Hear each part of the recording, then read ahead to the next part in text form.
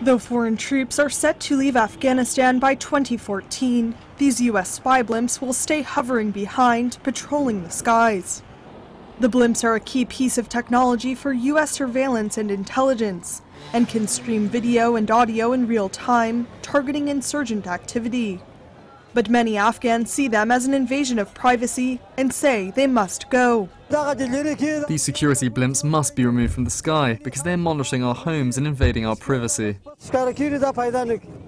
U.S. officials reject these concerns, saying the blimps are purely for security purposes.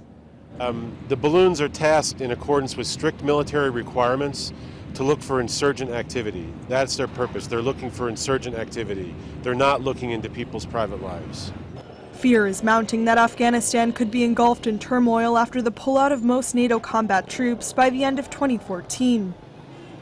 NATO and its partners are training Afghanistan's 350,000 strong security forces, though questions remain over how well the Afghans will be able to tackle the insurgency.